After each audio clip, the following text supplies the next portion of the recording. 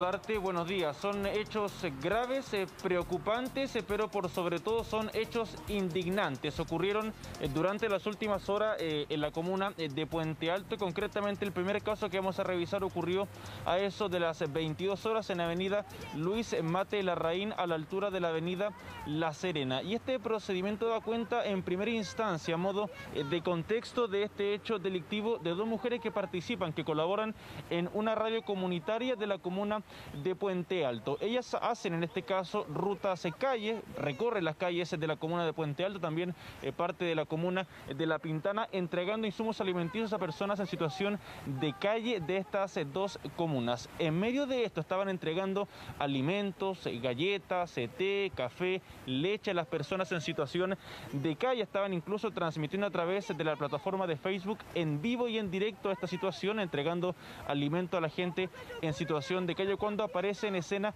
tres sujetos armados en este momento y asaltan a estas dos mujeres. De hecho, roban el vehículo particular que ellas habían estacionado a un costado de esta calzada. El vehículo tenía ropa, tenía mercadería, tenía también los teléfonos celulares de estas víctimas. El avalúo de este robo es cercano a los 13 millones de pesos. ¿Y qué preocupa también respecto de este procedimiento Karime? Según relató una de las víctimas de este hecho cuando llegaron sudden.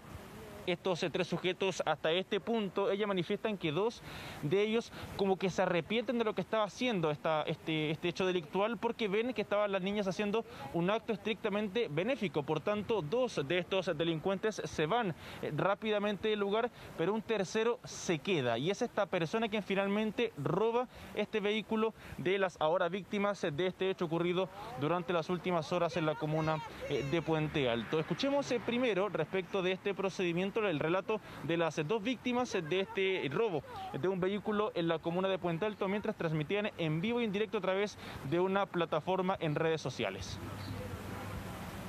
Uno de ellos se da la vuelta y se pone a forcejear con, con la la bota al suelo. Y ahí fue cuando yo me metí al auto a quitarle las llaves. Y ahí donde me, me dobló, que ahora tengo que ir a hacerme uno, una radiografía, me dobló los dedos, eh, le, saqué el, tema de la alarma, tratando de forcejear con él la llave y ya ahí sacó pistola y ahí ya nada más que hacer.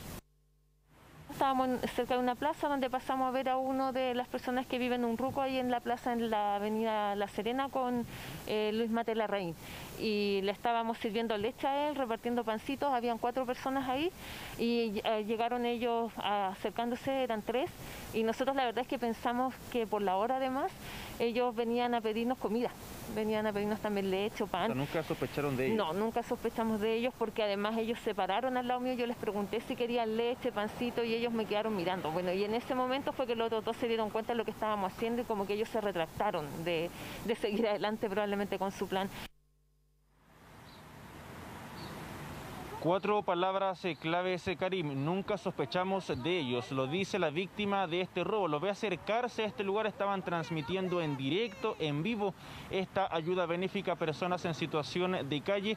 Dos de estos sujetos se van del lugar cuando ve lo que estaban haciendo estas mujeres, pero un tercero, lo reiteramos, es él quien se queda en ese lugar de la comuna de Puente Alto. Decide robar de todas formas este vehículo y se da rápidamente a la fuga de ese lugar. Dice la víctima también que este vehículo no es lo más importante para ella. Sí lo es, por ejemplo, la mercadería que estaba a bordo de este auto particular. Había insumos alimenticios para un área común. En la comuna de Puente Alto había también eh, mercadería, había vestimenta para personas en situación de calle. De momento un procedimiento que lamentablemente no deja personas detenidas, pero sí pudimos eh, conversar con personal de Carinos porque hay una denuncia a raíz eh, de este grave e indignante caso que ocurrió en la comuna de Puente Alto.